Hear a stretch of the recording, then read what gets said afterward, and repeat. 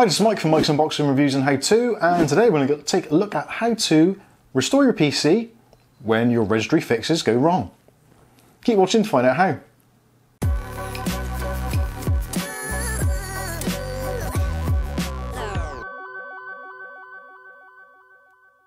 Okay, so today's video we're going to address some of the questions I've been getting on the uh, comment section from different YouTube videos that we've done over the years.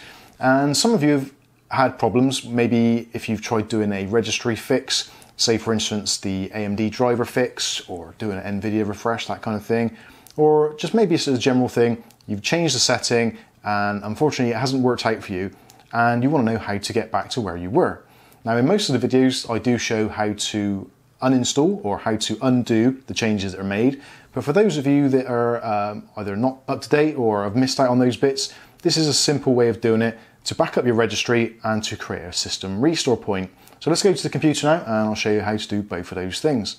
Now, first of all, most systems you need to make sure that your system restore is actually working.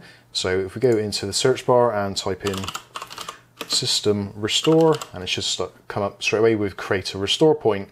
So we'll head into there first of all, and in the system properties here, you can check that system protection is on.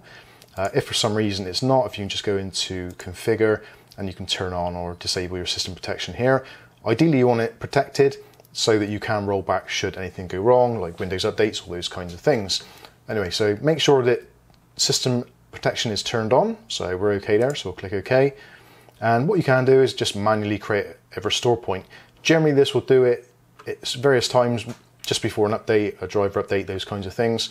But we want to make one now just before we do any changes to the system. So all we need to do is click on create here.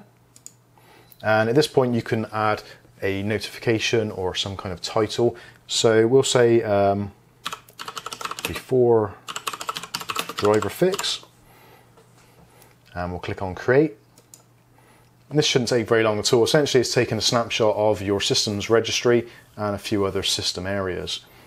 So we'll let this carry on, and there we go, that was done pretty quickly. So now we've got a restore point created successfully, so we can click on close, and that is done. So should anything go wrong, we can go into system restore and then revert any changes that we've made.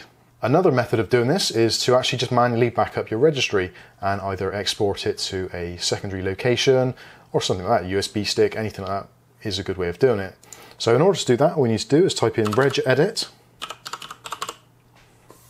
And in the registry editor, right click and choose run as administrator.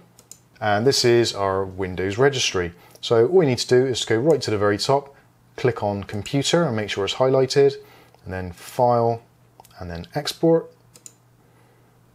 And now you get to choose where you want to save it to. So I'm going to do it to the desktop to make it easier to export and as you can see it says save as type and it's registration entries so that's a .reg file so we're going to change sorry we're going to add a file name so we'll call this before driver fix and we're just going to hit save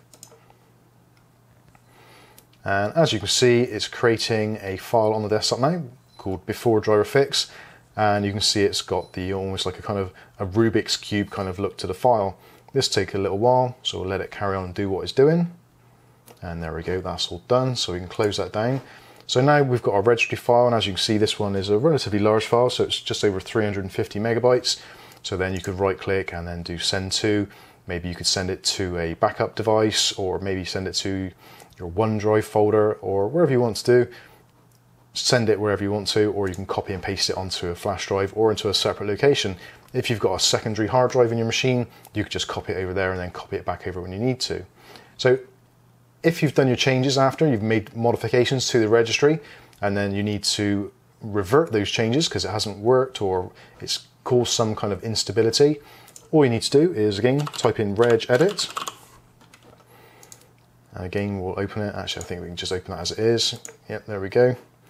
So in our registry, all we do is click on computer and do file and then do import and then we have to browse the location. So if you put onto a USB stick, obviously find that.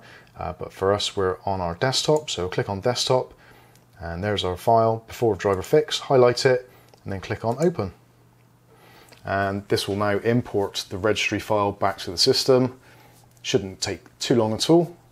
Again, depending on the problems you're having with your computer, it may take slightly longer, but This is a, a relatively older PC, it's a Ryzen 1700, so it's not particularly quick. So you may get that pop-up message saying that some of the file entries cannot be done because they're in use. Generally, you'll find this absolutely fine and it will actually put the ones you want in specifically. What you can do if you are just doing a specific part of the registry, you can just choose the individual file folder and do export that way. Again, it's entirely up to you. I choose to do the whole backup. You can actually set this as an automated task uh, using the command line, and make up a, a batch file so it does it on a periodic basis. And you can also add attributes as well to that string so you can override any files which may be in use and all that kind of stuff. Anyway, that is a useful way of doing it.